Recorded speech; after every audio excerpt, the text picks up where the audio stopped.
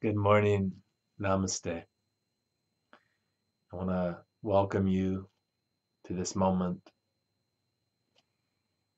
I want to welcome you to the here and the now. I want to welcome you to the high life. This morning, I want to share with you something very simple,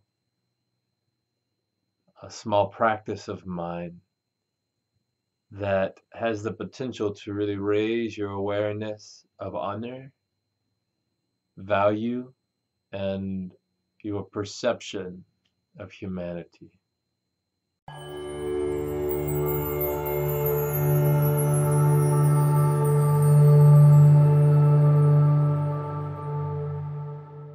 So it was in 2010 that I had a very powerful encounter with God.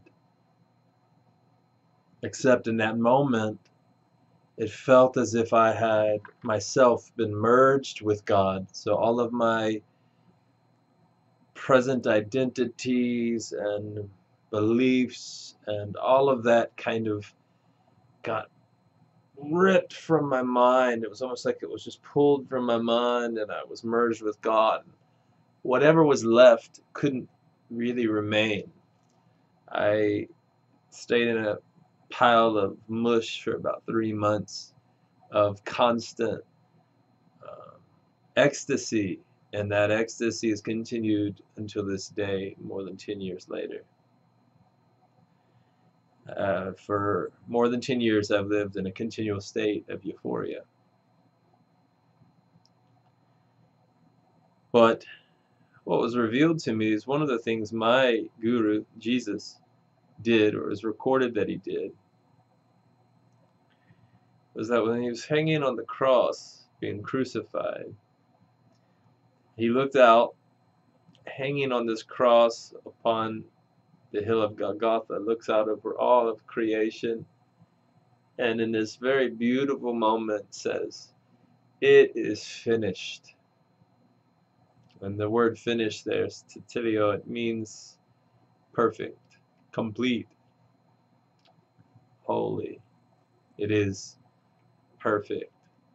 It was looking at every man, woman, and child, even those who have crucified him, and he was saying, You are perfect. You are good. Because in this moment of clarity, you can see through that one singular lens. If your eye be single, your whole body is full of light.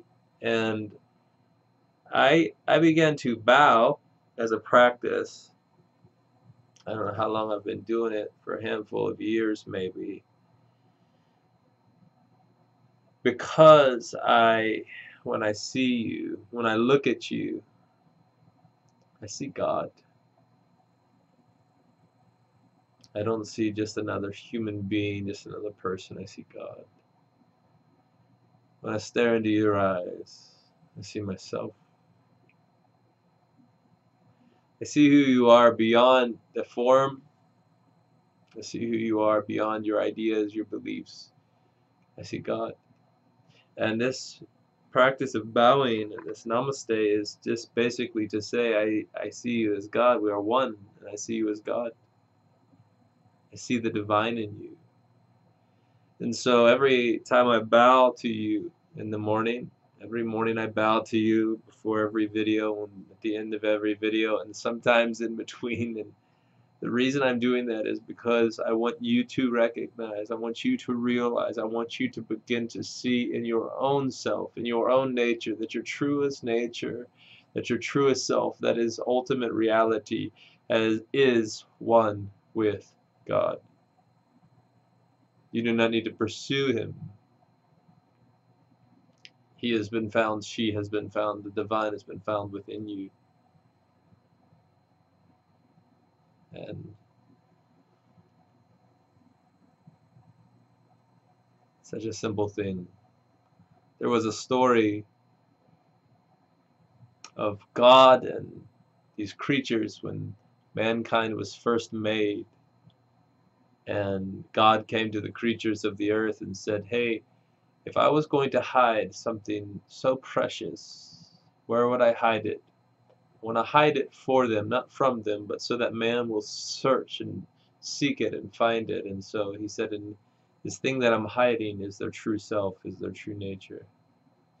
And um, various animals came with ideas to God. And uh, one of the, the animals, uh, a whale, comes and says, hide it in the depths of the ocean. They, they'll never find it there. They, they will search and search. And God says, yes, but they're very creative, man, and they might find, they might go and find it there. And uh, an eagle comes and says, well, hide it in the very heights of the sky, for they will never find it there. And he says, oh, but they will surely create something that can fly into the heights of the sky and find it. A mountain goat came and said, hide it on top of the mountain, deep in the snow, and they'll never find it there. And God said, No, I fear that they might. And after all the animals had come, God says, I know where I'll hide it. I'll hide it in a place that they will never look. I'll hide it within them.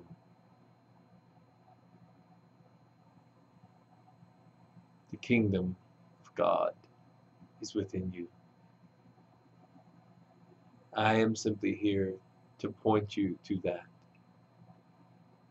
to reveal that.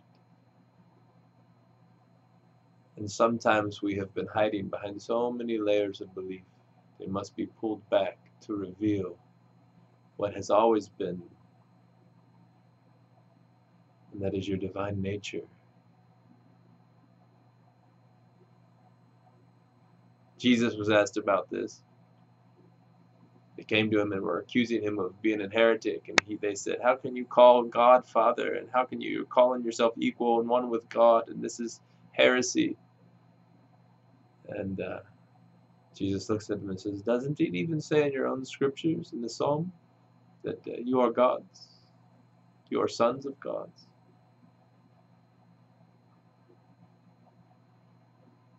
It's time to wake up to the truth. Sometimes you can't see it for yourself because you've been so burdened with sight. You've been so blinded by your own perceptions that you can't see what has always been here. And this is when you need someone like me to simply point to what you truly are and who you truly are. I would encourage you to begin to practice bowing and the namaste not as just a way to say hi, but in intentionality, with intentionality, to say, I see you. As I say to my students all the time, until you can see God in yourself, the Christ in yourself, you will not see Christ in another. Until you see Christ in another, you will not see Christ in yourself. We are one. I love you. Please drop whatever questions or comments you have for me in the comments below. Subscribe to my channel if you enjoyed this. And uh, talk to you tomorrow.